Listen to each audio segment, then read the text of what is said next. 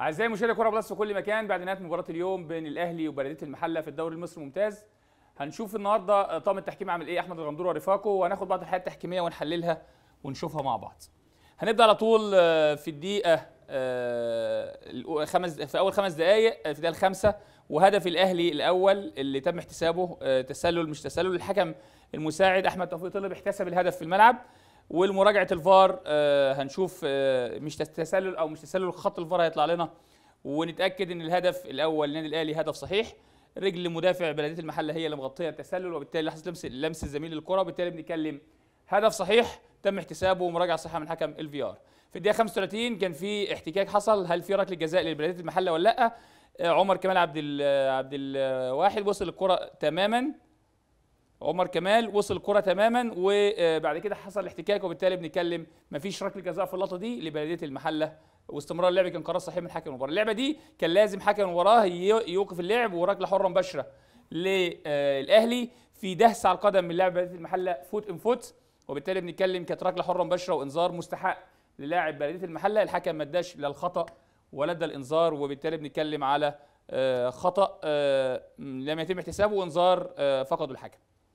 بنتكلم في الدقيقة 41 والهدف آه، تم احتسابه النادي الأهلي المساعد احتسب تسلل في الملعب وبعد كده حكم الفي ار مراجعة واحتسب الهدف وهدف صحيح فعلا ما فيش فيه تسلل لكن ال- الميزة في اللقطة دي إن المساعد عمل delay للراية وبعد كده آه، استمر اللعب لغاية ما تم إحراز الهدف ورفع الراية بعد كده فادى فرصة كبيرة للحكم الفار إن يراجع المراجعة صحيحة والهدف صحيح وتم تصحيح الخطا واحتساب هدف صحيح للنادي الأهلي. بنتكلم في الدقيقة آه 48 وركله جزاء تم احتساب الحكم موجود في مكان زاوية رضو شايف هو مكان أحمد كان ممكن يقرب شوية بس هي زاوية رضو مفتوحة وشاف اللقطة مظبوط. وركله جزاء صحيحة تم احتسابها في إهمال من لاعب بلدية المحلة اللي راح برجله وعمل إعاقة واضحة لإمام عاشور. والإعاقة واضحة وركله جزاء صحيحة ومراجعة صحيحة من حكم الفي آر وقرار في مجمله صحيح. اللقطة دي آه، ركله حرة مباشرة لعمر كمال عبد الواحد. و الحكم أكيد في إنذار هي اللقطة لازم تستاهل إنذار للاعب بلديه المحلة لأن فيها هجمة واعدة ومساحة كبيرة للأهلي وإنذار مستحق. بنتكلم في الدقيقة 85 برضه أحمد غندور في مكان ممتاز واحتسب ركلة جزاء صحيحة لبلدية المحلة. إيد لاعب النادي الأهلي خارجة بره جسمه مكبرة الجسم وهي شوتنج على الجول يبقى ركلة جزاء وإنذار لأنها الكرة تسديده على المرمى.